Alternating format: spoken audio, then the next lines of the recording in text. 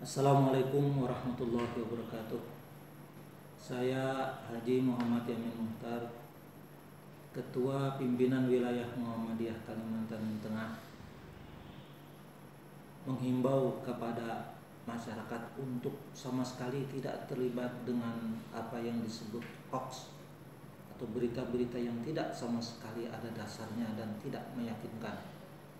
Jauhi hal-hal yang demikian maka kaitannya dengan pemilu kada atau pemilihan pimpinan daerah untuk Kota Palangkaraya dan beberapa kabupaten di Kalimantan Tengah saya menghimbau kepada masyarakat untuk tetap melakukan uh, tindakan-tindakan yang mengarah kepada kedamaian, ketentraman dan tentu kita mengharap untuk mensukseskan jalannya pilkada tahun 2018 ini.